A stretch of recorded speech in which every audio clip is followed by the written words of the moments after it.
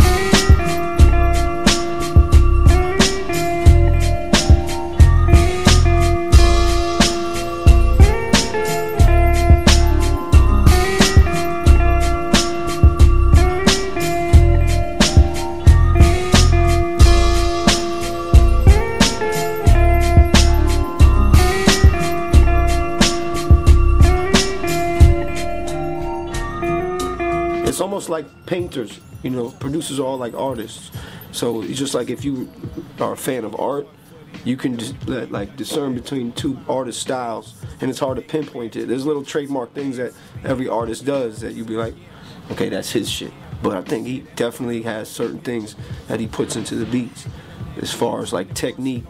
You know, not even like placing it on purpose. It's just the style of because I, I feel like beats they show your personality. You know what I mean? And, and that his beats, if you listen to all his beats, it's a perfect interpretation of the person, and that's when music is the illest. When there's really no filters. Like you listen to the body of work, and it's as good as having a conversation with somebody. So I notice we feed off of each other's energy. Like when when another producer does, that's that's how we all stay on point.